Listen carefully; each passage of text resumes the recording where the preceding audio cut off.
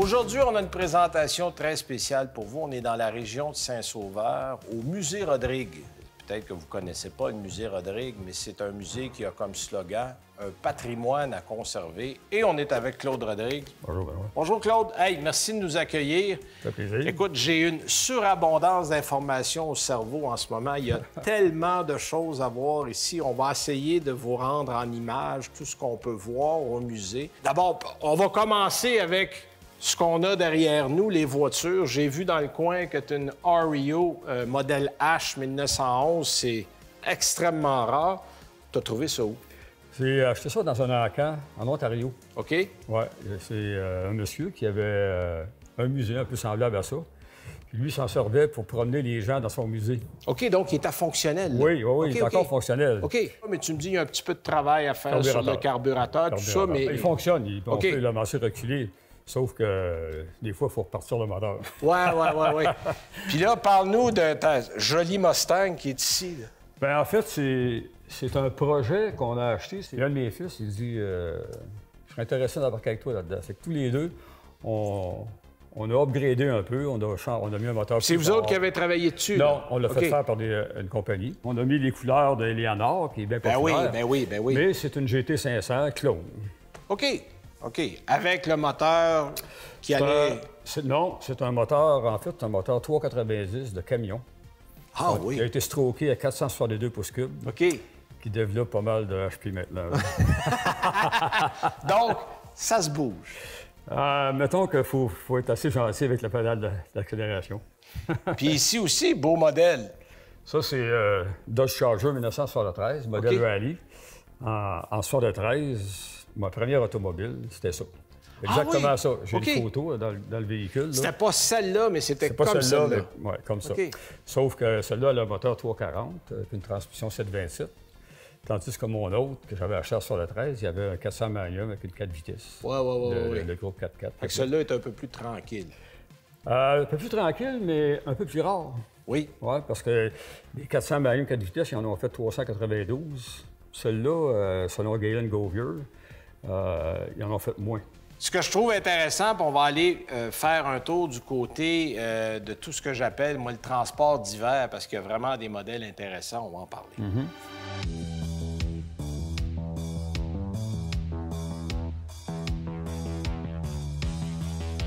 Une autre section du musée que je trouve fort intéressante, parce qu'il y a beaucoup d'histoires du Québec dans ça, c'est euh, le côté motoneige.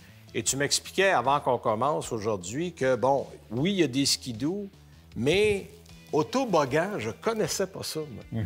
Ça, c'est arrivé dans les mêmes années, ou à peu Ouais, près. Là. ce- Celui-là, ce modèle-là, c'est un 1961 OK? qui, euh, qui correspond euh, au tout début de la motoneige Bombardier. là. OK, donc c'est arrivé à la même époque. Ouais. Euh, tu as un B12 aussi, qui est un modèle euh, assez rare, puis surtout en bon état. Puis tu me dis, l'hiver, tu fais faire des tours là-dedans, vous vous promenez? Ben, on ne fait pas faire de tour, on se promène. Ah, On est un groupe euh, de, de- de propriétaires de B12 au Québec qui on, faisait des, on fait des événements durant l'année, 6-7 événements. OK? Puis moi, je participe à 3 ou 4 de ces événements-là.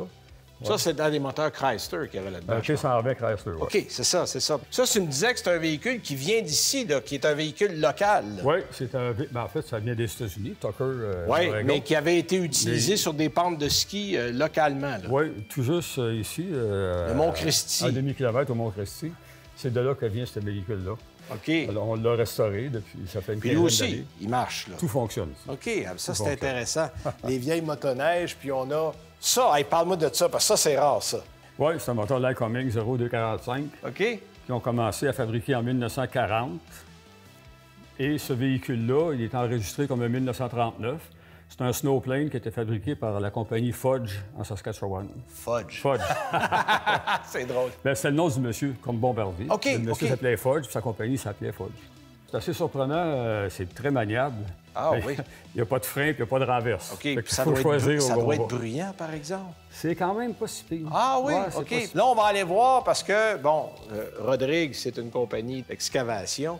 Puis là, on va aller voir le produit qui a commencé ta business.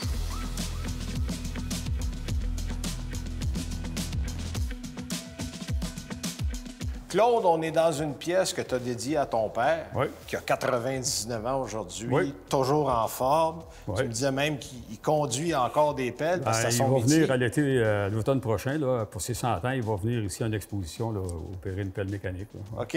Puis là, on est ici parce que c'est ce petit bulldozer-là par quoi tout a commencé? Explique-nous l'histoire. Ben, en fait, je travaillais déjà ici au Mont-Saint-Sauveur sur un petit bulldozer comme ça. OK. Mais moi, j'avais des idées depuis ma jeunesse d'avoir ma propre compagnie. Ça fait que j'allais voir chez le concessionnaire John Deere à Sainte-Thérèse pour voir s'il y avait des plans, des plans de financement. C'est pas comme, c'était pas comme aujourd'hui. Ouais, hein. ouais, ouais, Il y avait des plans de financement pour aider les jeunes qui voulaient se partir en affaires. Parce que moi, Parce que là, on est en 1976. là. Ben. En fait, 75, quand j'ai commencé mes démarches. Ouais. Puis euh, éventuellement, à une des visites que j'ai faites là-bas, euh, j'étais avec le vendeur, puis là, le propriétaire passe. Fait que le vendeur, il dit au propriétaire, Réal, rencontre donc ça, ce jeune homme-là, ça va aller loin dans la vie. Puis là, il me regarde, puis il dit, t'es un bon opérateur, toi? Ah ben, tant de se vanter, tu sais. Eh J'avais oui. dit, en tout cas, assez pour en acheter un. Puis là, il se recule d'un pas comme ça, puis il dit, Philippe, le vendeur, Philippe, appelle chez John Deere, dis-leur que je l'endosse, toi, achète le boule, va travailler. Ça, j'ai tout ça documenté là, là. Ben, voyons. Ouais. Ah c'est, oui. c'est comme ça que ça a commencé. Ce monsieur-là, il m'a donné comme. Ça serait arrivé éventuellement, Ah ouais. mais lui m'a donné la Il chance. t'a donné ta première chance. Puis c'est exactement avec cette machine-là que ça s'est passé. euh, On, on va aller voir, moi j'appelle ça le dessert du musée. OK? Les gens vont être impressionnés. J'en dis pas plus, mais tu vas nous expliquer ça une fois rendu. Ouais, OK.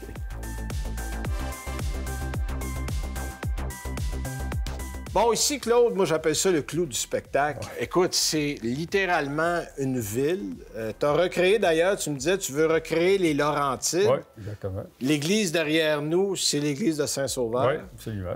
Bon, parle-nous du projet. C'est des trains, évidemment, les gens l'auront deviné. Tu me disais que tu as une dizaine de trains qui se promènent, qui peuvent se On peut, promener. on peut opérer 10 trains en même temps. ouais. L'idée est venue comment? Ça a commencé quand?